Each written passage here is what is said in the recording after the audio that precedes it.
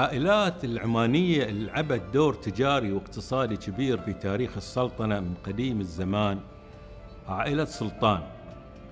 لكن المؤسف أن ما في مراجع كثيرة تتحكى عن هالعائلة اللي سموها في يوم من الأيام أباطرة العيش البسمتي في عموم الخليج على الرغم من أن تاريخ نشاط التجاري بدأ سنة 1866 وتوسع شوي شوي لما صار يشتمل على تطوير العقارات وبيع السيايير والأعمال الإنشائية والهندسية والصناعية والميكانيكية والكهربائية في سلطنة عمان وفي الإمارات العربية المتحدة والسعودية والكويت.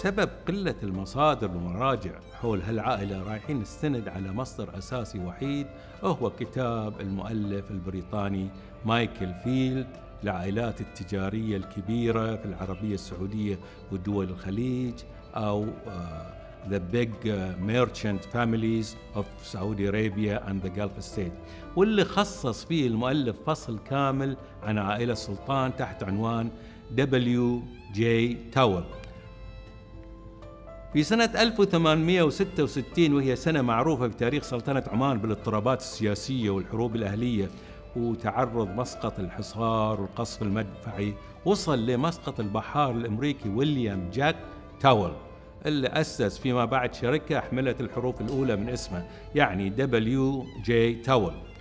يقول مايكل فيلد إن الحاج علي سلطان وهو من طائفة اللواتيه اللي يعتبرون اليوم واحد من مكونات المجتمع العماني متعدد الأعراق والثقافات.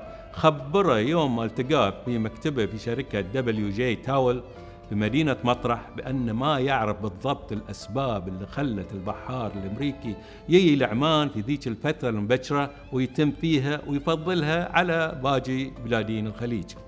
وأضاف الحاج علي سلطان بحسب كلام مايكل فيلد قد يكون الدافع هو تميز مسقط بالهدوء والجمال وقد يكون السبب هو وجود شخصين أمريكيين في المدينة آنذاك وقد يكون السبب هو استشعار بوجود فرص مربحة لربط عمان بالولايات المتحدة تجاريا لكن الثابت والمؤكد هو أن البحار الأمريكي تاول أسس شركة تجارية في عمان في العقد الثامن من القرن 19 ووظف فيها الإسكتلندي ماك كيردي اللي وظف بدوره شاب عمره 26 سنة كمساعدا هالشاب هو جد الحاج علي سلطان وكانوا يسمونه محمد فاضل وهو من مواليد بمبي في سنة 1858 ومن خريجي مدرسة الراقي المعروفة بإلفنستون. وبالتالي كان من رعايا حكومة الهند البريطانية المسلمين. ويعتقد أن محمد فاضل هذا وصل لمسقط بحدود سنة 1878 وسكن بها واشتغل في التجارة وكان يسافر من فترة لفترة للهند في رحلات قصيرة. لكن في نفس الوقت مسك لمد لمدة بسيطة منصب نائب الإسكتلندي ماك كيردي اللي كان وقتها قنصل الولايات المتحدة في عمان بالنيابة. ومن ضمن التقارير الأمريكية الرسمية اللي تم السماح للعموم بالاطلاع عليها في فترة لاحقة تقرير مؤرخ في 31 ديسمبر 1901 ومن هالتقرير يمكن نقول إن ماكيردي ومحمد فاضل كانوا يتعاونون ويا بعض في ال business وكانوا يصدرون الذهب والأسماك والتمور لأمريكا ويستوردون منها سلع وبضائع متنوعة. يقول مايكل فيلد في كتابه إن في الوقت اللي كتبوا فيه التقرير يعني سنة 1901 كان الأمريكي ويليام تاول باع شركته حق مساعده ماك كيردي وغادر عمان بسبب الوحدة اللي عانى منها عقب وفاة زوجته. وأن في عام 1906 غادر ماك كيردي عمان عقب ما باع شركة تاول لمساعده محمد فاضل بمبلغ 11 ألف روبية أو ما كان يساوي وقتها 3400 دولار ويضيف مايكل فيلد أن في وقت استلام محمد فاضل لشركة تاول كانت هالشركة صايرة وكيلة حصرية لشركة لويدز أحد أشهر شركات التأمين البريطانية ووكيلة حصرية بعد لشركة Standard Oil المملوكة لآل روكفلر واللي كانت شركة Towell تستورد منها الكيروسين أو الغاز للبيع في عمان. من ضمن صادرات شركة Towell إلى الخارج في هالفترة الرمان واللومي الأسود بالإضافة للتمور اللي كانت تصدر للهند والولايات المتحدة بكميات كبيرة لأن ولاية كاليفورنيا ما كانت تنتج التمور وقتها ولأن الهند كانت تستهلك كميات كبيرة من هالتمور في الطقوس الهندية الخاصة بالزواج. نشاط محمد فاضل التجاري الضخم ما خلاه ينقطع عن العمل بالقنصلية الأمريكية بمسقط خصوصا في ظل عدم وجود قنصل أمريكي أصيل مقيم لسنوات طويلة. ونقدر نقول إن هالوظيفة منحت محمد فاضل مكانة إضافية متميزة في المجتمع العماني آه، إلى جانب المكانة اللي استمدها وسط العمانيين من ثروته وإلمامه باللغة الإنجليزية وعدد من اللغات الأجنبية وثقافته في العلوم الطبية والصيدلانية اللي كان يتعلمها من قراية الكتب والمراجع الطبية من باب الهواية. في سنة 1916 وهي السنة اللي بند فيها الأمريكان قنصليتهم في مسقط توفى محمد فاضل. وترك وراء ثروته ونشاطه التجاري لولده سلطان اللي راح يصير اسمه لقب للأسرة. لكن الابن سلطان المولود في سنة 1889 والمتوفي في سنة 1955 كان ميال للعمل الطبي والصيدلاني أكثر من العمل التجاري. فاشتهر بين هالمسقط ومطرح بصيدليته اللي كانت تصرف الوصفات الطبية للناس. حلول العشرينات من القرن الماضي تخلى سلطان عن تجارة أبوه محمد فاضل لولده عبد الرضا. لكن هذا حدث في وقت كانت في عمان تعاني من الحروب والانشقاقات في العائلة الحاكمة ما بين فرعها في عمان وفرعها في زنجبار. وهذا طبعا كانت له آثار سلبية على الحراك الاقتصادي والنشاط التجاري في عمان. على العكس من باقي دول الخليج اللي كانت تعيش ذيك الأيام حالة ازدهار بسبب تجارة اللولو. في مرحلة الكساد التجاري هذه كساد التجاري في عمان طبعا قعدت عائلة السلطان تعلم عيالها وتثقفهم وتغرس فيهم مهارات اللغة الإنجليزية والمراسلة والكتابة على الآلة الطابعة والقراية تحت رعاية عميدها عبد الرضا. لأجل الاستعداد لمتغيرات الأيام الجاية. المنعطف الحاسم في تاريخ النشاط التجاري لعائلة سلطان كانت سنة 1947 يوم ما مر عبد الرضا بالكويت وهو في طريق لمكة لأداء فريضة الحج. في هالسنة توقف عبد الرضا في الكويت اللي كانت لعائلته فيها شركة صغيرة تتعامل في تجارة الجقاير والتتن العماني وتايرات السيايير من نوع دنلو. هناك في الكويت قابل عبد الرضا رجل الأعمال الكويتي أحمد زيد السرحان اللي قاعد يشرح له الفرص التجارية الكبيرة اللي تنتظرها الكويت عقب ما اكتشفوا إبها البترول. كلام السرحان عن الكويت ومستقبلها التجاري قاعد يرن في إذن عبد الرضا. وعشان كذي كان أول عمل له عقب ما رجع لمسقط من سفرة الحج هو الاجتماع ويا إخوانه للتفكير حول تعزيز نشاطهم وتواجدهم في الأسواق الكويتية الواعدة. وكان من نتائج هالاجتماع اتفاق الإخوان من عائلة سلطان على أن يتم عبد الرضا في مطرح علشان يدير أعمال العائلة في عمان ويسافر أخوانه قمر وعلي وأحمد الكويت بالتناوب للإشراف على نشاط شركتهم هناك. فصاروا هذيل الثلاثة يقعدون شهور طويلة في الكويت تاركين زوجاتهم وأطفالهم في عمان تحت رعاية أخوهم الكبير عبد الرضا مع مرور الوقت توسعت أنشطة عائلة سلطان في الكويت فاشتملت على الصرافة وبيع أفلام التصوير والعطورات وزيوت السيارات بالإضافة طبعا إلى تجارة الجقاير والتتن العماني وتايرات السيايير. أرباح العائلة من نشاطهم في الكويت في أول سنة كانت متواضعة. لكنها ارتفعت بشكل مثير ومذهل في سنة 1948 بسبب حدوث نقص شديد في الكويت في السمن المستخدم في الطبخ. ويخبرنا مايكل فيلد في هذا السياق أن عائلة السلطان تصرفت بسرعة لمواجهة هذه الأزمة والاستفادة منها خصوصا مع علمه بوجود مخزون آه، كبير من السمن في مطرح وكميات إضافية كبيرة في إقليم قوادر في بلوچستان اللي كان وقتها جزء من سلطنة عمان. ملخص القصة أن عبد الرضا شحن لإخوانه في الكويت ألف تنكة من السمن وقاموا هذيلا ببيعها على عائلة الغانم الكويتية بسعر 100 ربية للتنكة الواحدة فحصلوا على 100 ألف ربية بضربة واحدة. بالحقيقة أن هالصفقة الكبيرة ما كانت الصفقة الوحيدة اللي برموها آل سلطان مع الكويتيين واستفادوا منها طبعا استفادة كبيرة. في سنوات السبعينات من القرن العشرين أبرموا صفقة مربحة كبيرة لاستيراد العيش البسمتي وبيعه مباشرة للديوان الأميري الكويتي. عقب هالصفقة ولسنين طويلة جاية إذا مرت الكويت بأزمة غذائية سواء في السمن أو السكر أو الشاي أو العيش كانت عائلة آه، سلطان إلها بالمرصاد فتواجهها وتستفيد منها عبر توفير أطنان من تلك السلع. أكثر واحد من عيال عائلة سلطان من حيث النشاط والذكاء التجاري والدور المؤثر في الكويت آه، من حقبة الستينات هو أحمد اللي ما كان يتردد لحظة واحدة في الاستفادة من أي فرصة متاحة ومن أي خطأ يرتكبونه باقي التجار. وأكبر دليل على صحة الكلام هو أن أحمد سلطان اشترى آلاف الأطنان من العيش البسمتي مباشرة من الحكومة الباكستانية عقب ما اكتشف أن حسين مرواني رئيس الكونستوريوم المفوض من قبل الحكومة الباكستانية لتصدير الرز إلى الخارج شخصية فاسدة ومماطلة ومحتالة ومرتشية. وعلشان ما يخلي هالشخص الفاسد يتحكم في تصدير العيش بالكوتا سافر أحمد بنفسه في سنة 1965 لباكستان علشان يستحوذ على كامل محصولها من العيش وكانت الكمية وقتها 90 ألف طن.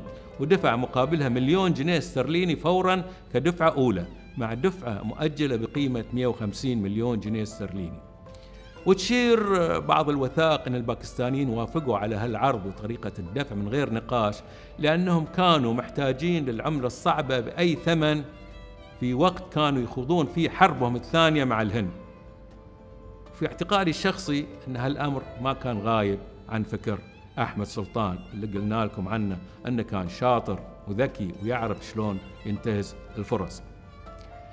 آه، وبحسب مايكل فيلد بعد اشترى أحمد سلطان في الفترة ما بين سنة 66 وسنة 67 9000 طن من العيش الباكستاني إضافة ل 23 ألف طن من العيش البورمي فحققت شركته أرباح صافية وصلت ل ثلاثة ونص مليون دولار فصار اسمه معروف في عالم توزيع تجارة التجزئة الخليجيين بالسلع والمواد الغذائية.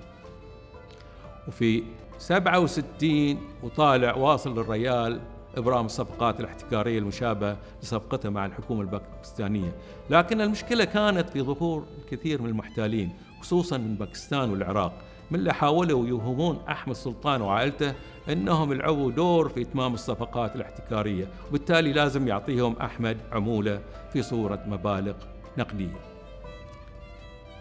في يناير 1974 احدثت فاجعة أليمة لعائلة سلطان، كان مسرحها بيروت تفاصيل القصة هي أن مكتب أحمد سلطان بالكويت وصلت رسالة بالتلكس من شخص مجهول في بيروت. يقول فيها أنه يبي يلتقي مع أحمد بهدف الدخول شراكة في مشروع عقاري ضخم في الشرق الأوسط.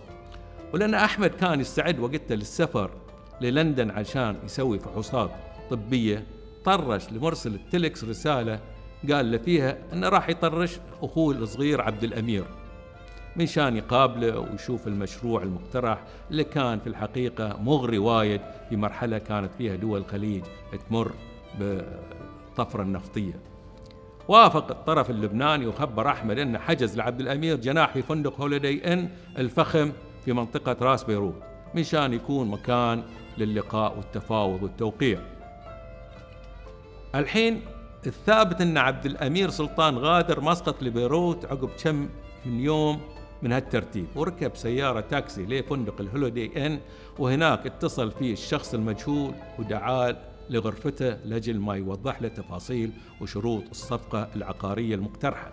لكن اللي صار هو أن بمجرد ما دش عبد الأمير غرفة الشخص المجهول شلوا حركته واختطفوه.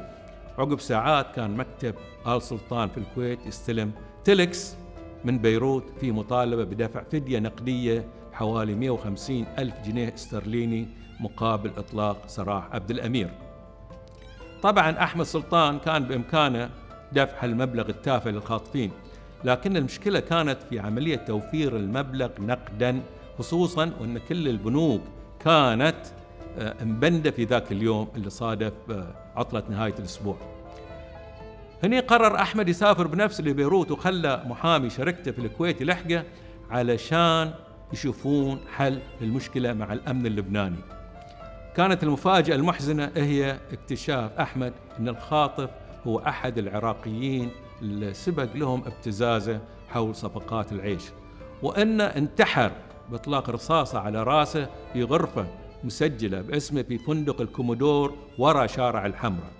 وأن المنتحر ترك ورقة صغيرة يقول فيها ستجدون جثة عبد الأمير في كيس من البلاستيك تحت سريري في جناحي بفندق ال Holiday Inn ولأن السلطات الأمنية اللبنانية ما توسعت في تحقيقاتها حول الجريمة وبننت ملفها بسرعة علشان ما تتأثر سمعة لبنان الاقتصادية أمر السلطان قابوس وقتها بمنع سفر المسؤولين العمانيين للبنان حتى إشعار آخر خصوصا مع وجود فرضية بأن العراقي كان له شركاء لبنانيين ساعدوه في عملية اختطاف عبد الأمير اللي كان شاب قوي وقادر يدافع عن نفسه مواجهة آه، العراقي المنتحر اللي كان ضعيف آه، البنية. المقاطعة الرسمية العمانية للبنان إجبرت السلطات اللبنانية على تكثيف البحث عن الضالعين في الجريمة فتبين من خلال الصور الملتقطة للعراقي في بيروت وجود شخص كان دوم يرافجه.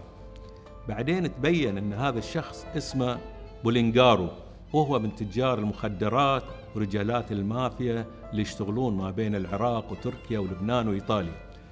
وعقب تحقيقات إضافية تبين أن بولينغارو هذا هو ولد العراقي المنتحر وأنه كان ساعد أبوه الأيمن في جرائمه. لكن هالمجرم اختفى وما حد درى عنه شيء.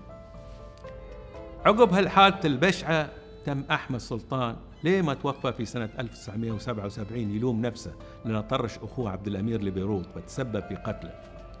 وموت أحمد سلطان تولى ولده مقبول سلطان إدارة نشاط الشركة اللي احتفظت بنشاطها في تجارة المواد الغذائية لكنها أضافت لها أنشطة متنوعة مثل تجارة الملابس والعطورات والأدوات المنزلية والمعلبات. ويوم ما بدأت السلطنة خطواتها التنموية الجبارة في عهد السلطان قابوس قامت الشركة بأنشطة إضافية اشتملت على الإنشاءات والتمديدات الكهربائية وبناء المجمعات السكنية وتطوير الموانئ وخطوط المواصلات والشحن وتجارة السيايير الكورية وبناء مصانع الإسمنت ومعامل تعبئة المراقبات وغيرها. ومدت أعمالها من عمان للإمارات السعودية والكويت. يفتخر حسين جواد اللواتي وهو من الجيل الخامس من عائلة السلطان ورئيس مجلس إدارة شركة W.J. Towell من سنة 2000 أن عائلته قدرت تحافظ على تماسكها واصلت شراكتها العائلية في الوقت اللي معظم الشركات العائلية في العالم تتوقف مسيرتها عقب الجيل الثاني. بتذكر ريال بحسرة في مقابلة مع صحيفة الرؤية الإماراتية في سنة 2014 اللي حصل لتجارة العائلة في الكويت عقب الغزو العراقي بسنة 1990 فقال أنا والعاملون معي غادرنا الكويت إلى عمان تاركين خلفنا مخازن ضخمة مليئة بأطنان من البضائع. وللمعلومية أن حسين جواد هذا من مواليد صور طرشوه للكويت وهو شاب يافع فتربى ودرس هناك وتخرج من جامعة الكويت في علم الفلسفة والنفس والاجتماع وعقبها حصل على درجة الماجستير في الاقتصاد من الولايات المتحدة. وإذا ما ردينا لشركة W.J. Towell اللي كانت نواة بسبب ثروة عائلة السلطان نشوف أن كان لها وكيل في البحرين وهو التاجر البحريني المعروف من أصل عماني حسن حيدر درويش. اللي كان يستورد من آل سلطان عيش البسمتي واللومي الأسود وغيرها من المواد الغذائية بكميات تغطي حاجة البحرين. وكان يستورد منهم بعد جقاير من نوع وينستون وسالم و... وبويمل علشان يبيع بعضها في أسواق البحرين ودول الخليج.